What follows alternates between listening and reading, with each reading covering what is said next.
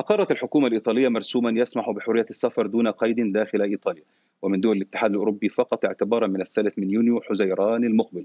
ويأتي هذا الإجراء بعد تقديم رئيس الوزراء جوزيبي كونتي ووزير الصحة روبرتو سبرانزا للمقترح وذكرت وسائل إعلام إيطالية أنه سيتم فتح الحدود لمواطني الاتحاد الأوروبي ودول منطقة شنغن دون الحاجة إلى فرض حظر صحي أو تقديم شهادات بينما سيظل حظر الدخول مفروضا على بقية دول العالم. للتعليق على هذا الموضوع انضم الي عبر سكايب من روما الكاتب الصحفي السيد سمير القريوني أرحب به. سيد سمير القريوني هل إيطاليا جاهزة فعلا لفتح المجال العام دون الخوف من عودة آه، آه، مرة أخرى لفيروس كورونا؟ نعم لا توجد أي مخاوف من عودة لانتشار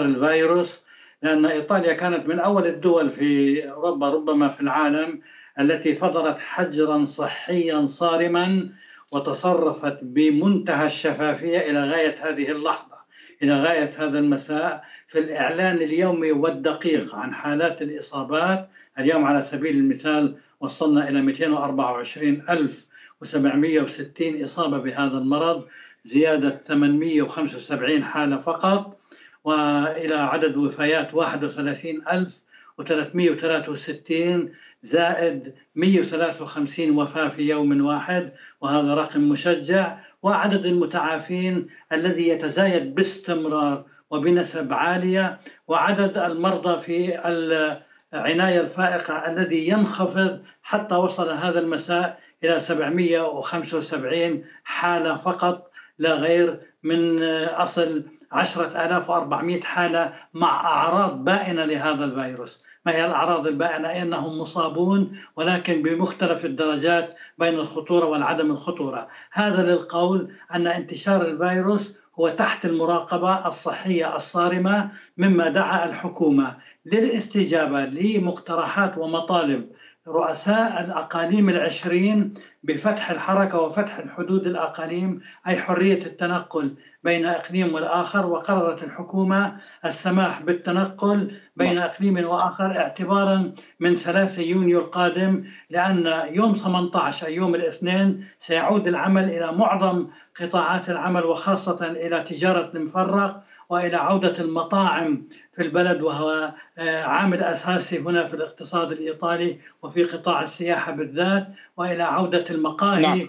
اليومية العمل فيها وإلى عودة العمل نعم. لدى الحلاقين إلى آخره هذا شجع على السماح للمواطنين والزوار بالقدوم دون حجر ودون أي تراخيص مسبقة وذلك ثقة سمير القريوني لكن لكن سؤالي سؤالي ليس على القرار. سمير القريوتي. لكن سؤالي سمير القريوتي. على... نعم نعم. نعم أستاذ سمير القريوتي. نعم أستاذ سمير القريوتي. ربما سؤالي ليس في في في النتائج وفتح المحلات وفتح والتحرك لا الأسس التي اتخذت الدولة عليها. إذا كان لديك 875 حالة يعني ألا يدل ذلك على أن هناك حالات جديدة يوميا وبالتالي من الممكن أن ترتفع إلى أرقام كبيرة؟ هذا هذا الموضوع هو تحت المراقبة اليومية للجنة العلمية التقنية. الحكومة لا تأخذ أي قرار إلا باستشارة اللجنة العلمية. اللجنة العلمية سمحت بالفتح شريطة احترام شروط الأمان شروط الحماية والسلامة في كل شيء وفي كل موقع. حتى المنتجع السياحي الذي يسمح بافتتاحه اعتبارا من 18 أبريل وفي شهر يونيو يجب مراعاة الرعاية الصح شروط الأمان والسلامة.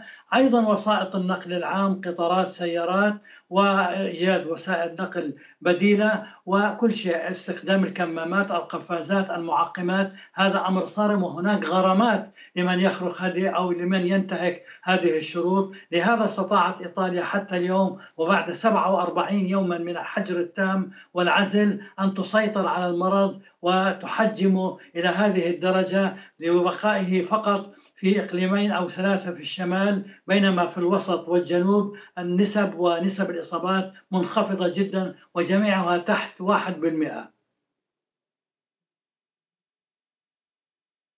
أستاذ سمير القريوتي أذكرك بأنه إيطاليا في بداية الأزمة والكارثة كانت لديها مشاكل كثيرة وربما مباراة كرة قدم تسببت في انتشار المرض بشكل كبير في إيطاليا يعني هل الإجراءات التي تتخذها الدولة ستمنع وخصوصا مع فتح المجال للتحرك من دول أوروبية دول الشنغن إلى إيطاليا ومنها وعبرها وإليها هل فعلا كل هذه الإجراءات ستمنع عدم انتشار الفيروس من دول أخرى إلى إيطاليا مرة أخرى؟ أي رجل أي رجل سياسة أي حكومة مسؤولة أي حكومة تحاسب يوميا ولديها برلمان هي تعلم جيدا أن كل قرار يتعرض للنقد كما تتعرض قراراتها للنقد. هي على ثقة بنفسها وهي على ثقة بمواطنيها وهي على ثقة بعلمائها وهي على ثقة بأجهزتها. الجهاز الطبي والجهاز الصحي في إيطاليا على مستويات عليا وأثبت جدارته في هذه الموقعة الموضوع في هذه الجائحة. وهم على يقين أنهم قادرون على السيطرة إلى غاية الآن ولكن الحكومة كانت واضحة. في حال التأكد ولو من بدايات تفجر بؤرة جديدة لهذا المرض فسوف تعلن هذه المنطقة من أينما يأتي المؤشر منطقة حمراء وستتم العودة إلى الحجر التام وبقيود مشددة للغاية. بدليل أن الغرامات رفعت أن المخالفات أيضا إذا ما تنقل أحدهم وخرق القوانين فسوف يتم إذا كان لأسباب العمل فسوف يتم إغلاق محله التجاري أو مشغله لمدة بين تتراوح بين خمسة أيام إلى ثلاثين يوما.